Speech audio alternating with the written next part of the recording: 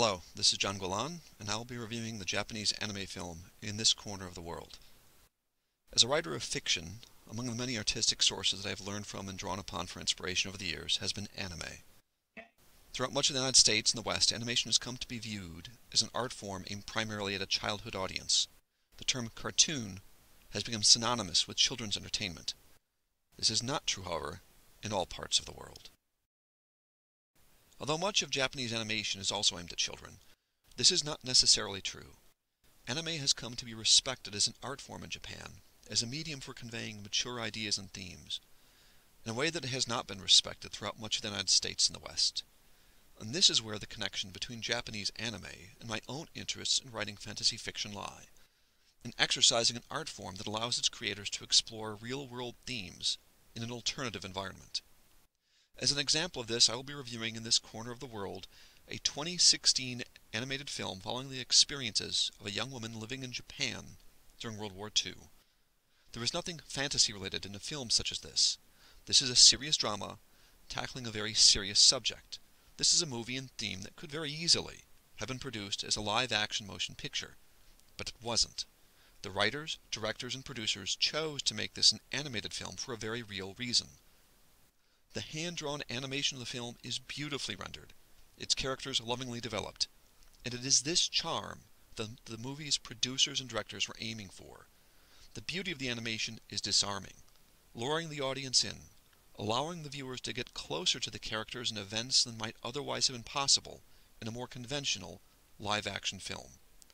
This was a story that was told as an animated motion picture because it needed to be told as an animated motion picture. The animation allowed the creators of this film to do things and to tell this story in a way that could not have been possible otherwise, to bring the message of this story home to a wider audience. The movie tells the story of World War II Japan, as seen through the eyes of a young woman named Suzu. It begins with Suzu as a schoolgirl during the pre-war years, a kind-hearted adolescent who loves to paint and draw.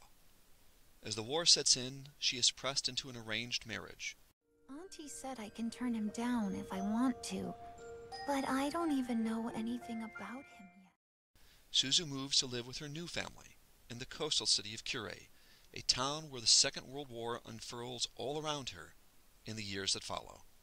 It is through her eyes that the horror and futility of war is understood, in a manner that would have been too heartrending for an audience to sit through in a live action drama.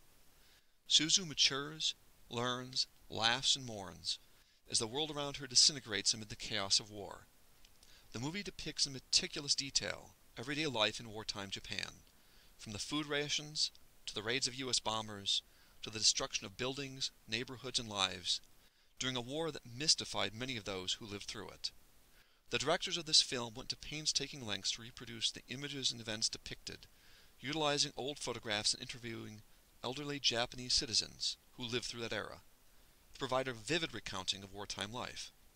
Suzu enters the film as an adolescent teen, just entering womanhood. She leaves the film bearing the scars of a pointless war that left only death and devastation in its wake.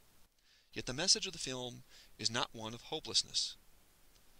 Throughout it all, life goes on, even after sorrow and loss.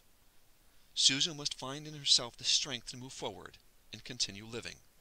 This was a serious subject, and was respected as such when it was released in Japan. In this corner of the world, won numerous awards, not only in the animated film category, but also repeatedly beating out live action films for awards and accolades.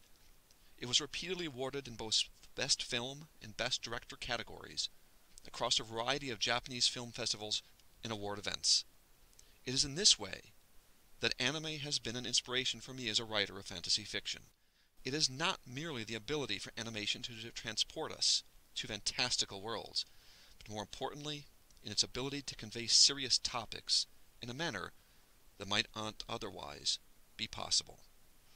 If you haven't seen In This Corner of the World, I would highly recommend the film. For lovers of drama and animation alike, but I will warn viewers, this is not a movie intended for young children. It is a drama that takes on themes where live action movies often fear to tread.